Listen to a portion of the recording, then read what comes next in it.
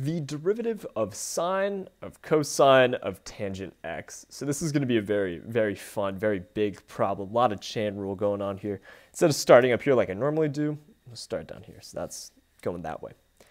All right, so the derivative of sine, we all know, is cosine. So this is going to be cosine, cosine, tangent x times so the derivative of this inside, so we differentiate the outside, now the inside, and we're going to keep going. So derivative of cosine is negative sine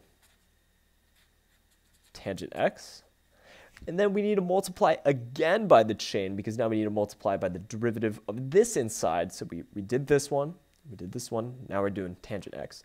So the derivative of tangent x we all know to be secant squared x. So that's all the um, that's all the, the calculus there. So now we can kind of clean it up.